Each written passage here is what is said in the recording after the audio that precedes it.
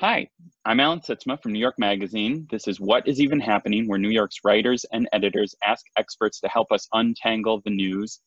Today, we're talking to Angie Mar. She is the owner and the executive chef at the Beatrice Inn, and we are wondering what happens this week when diners are allowed back inside of restaurants. Hi, thank you so much for, for joining us. Thank you so much for having me.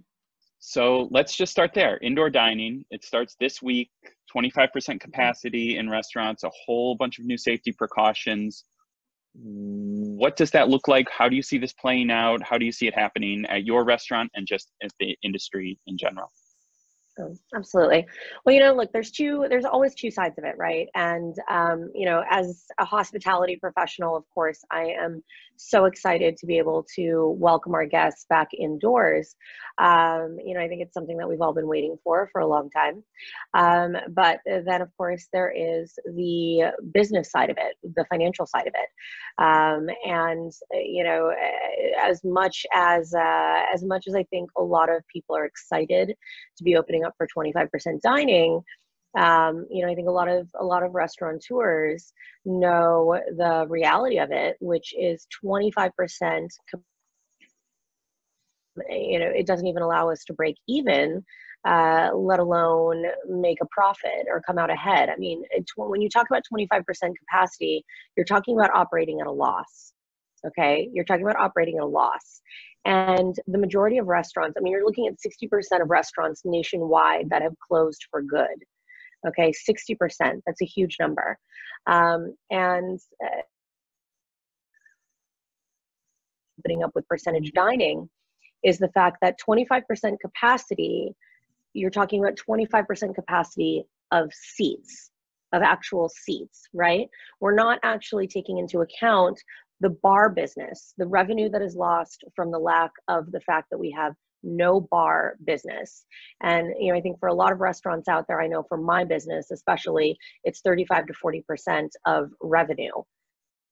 That's a huge, you know, so you're talking you're talking about virtually nothing. So you can understand where, you know, am I excited to do indoor dining and welcome my guests back in into, you know, the Beatrice? Sure, I am. Am i you know am i excited about the the financial prospect of it? Absolutely not because we will be operating at a loss. So then what is the incentive? Like why do it at all if the alternative is to you know you're not going to make money if you don't open but you're not going to lose money if you say you're operating in at a loss that way? Mm-hmm.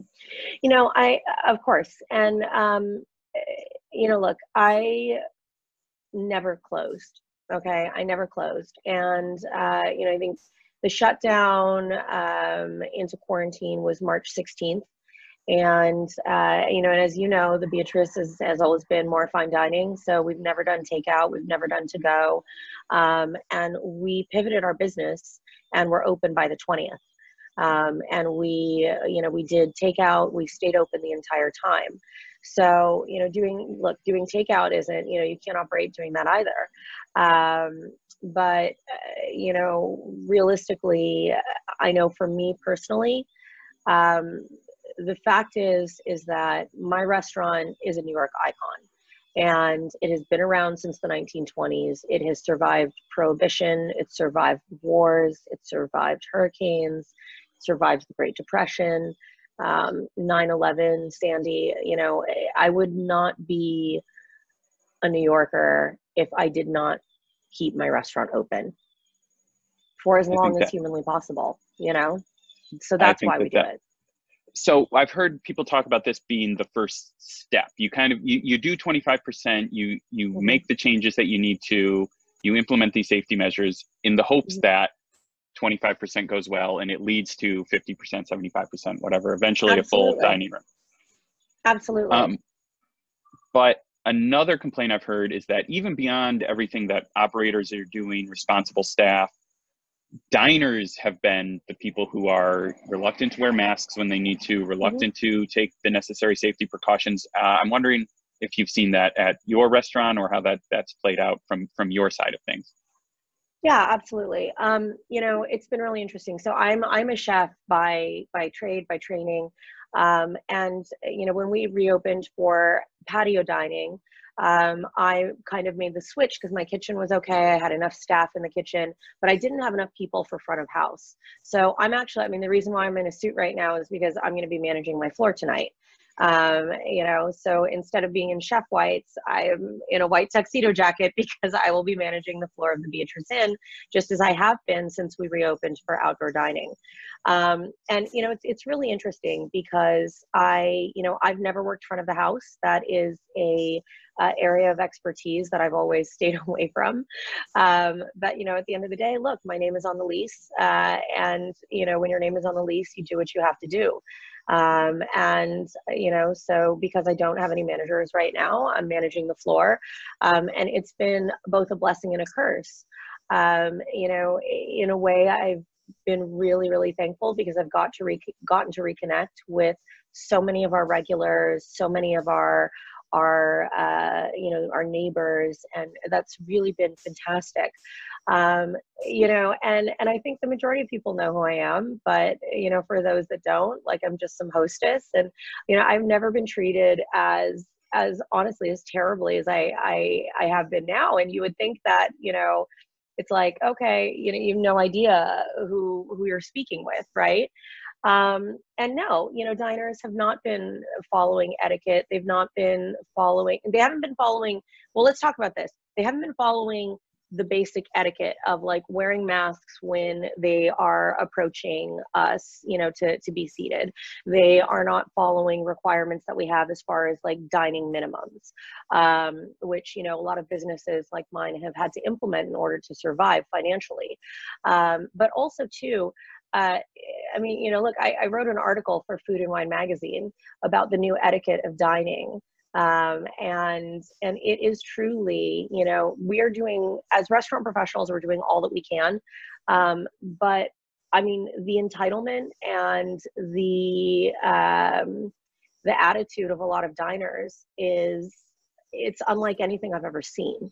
It really sounds like I mean, it's just it's a two way street. I think everybody's a little worried about what's going to happen. Um, and mm-hmm.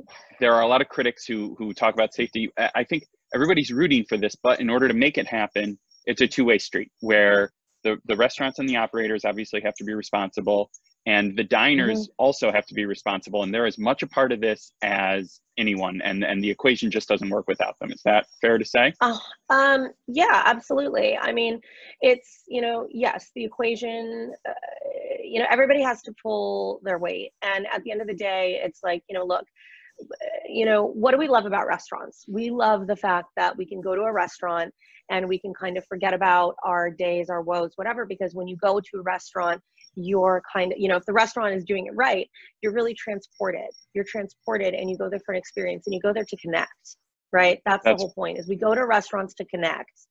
And you know i think that for diners, especially right now, they have to stop and they've got to think because for most, the majority of diners, especially those who are not in tuned to what it is like to be in the restaurant industry, or maybe they've never worked in a service industry or hospitality, um, you know, great restaurants are open you know in their mind it's like restaurants are open at 25% fantastic life is getting back to normal. So for a lot of those diners that that's their mentality it's it's another night out it's a, right. it's a night out to them. For us, this is our livelihood. This is our passion. This is our profession. This is how we feed our kids. This is how we pay our rent.